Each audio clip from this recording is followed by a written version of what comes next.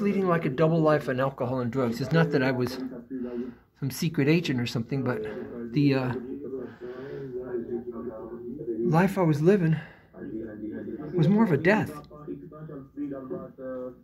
I wasn't devoted to helping others and being clean and sober and just being a regular guy.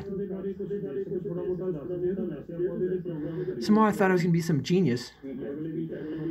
Meth was going to make me a brilliant. I'd stay up all night studying pass all these tests. In fact, what I actually did was stay up all night, not go to school, not study, and drop out and pass out. Booze was going to make me super popular and friendly because everybody knows that's what booze does, right? Uh, no. Weed was going to make me very introspective. I was going to learn deep things about life, such as I need more weed in order to function, and I don't have any weed, and I feel horrible because I need weed because weed is good for you. You know, all those kind of lies. Acid was going to give me the key to the universe.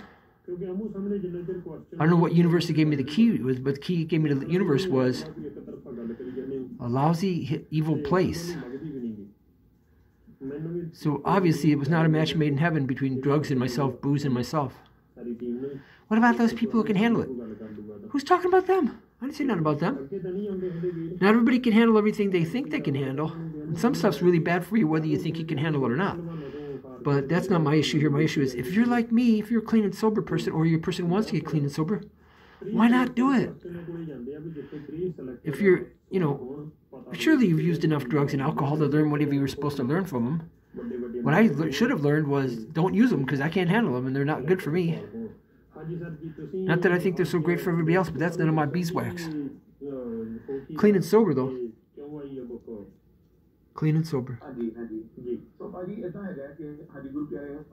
Let's stay clean and sober today together. It takes a lot of us to help each one of us. That's okay. What do they want us to do? You know, just figure it all out on our own? No, physicists need physicists. Architects need architects. So we need. We can do it together, but I don't think I can do it on my own. But great thing is I don't have to try.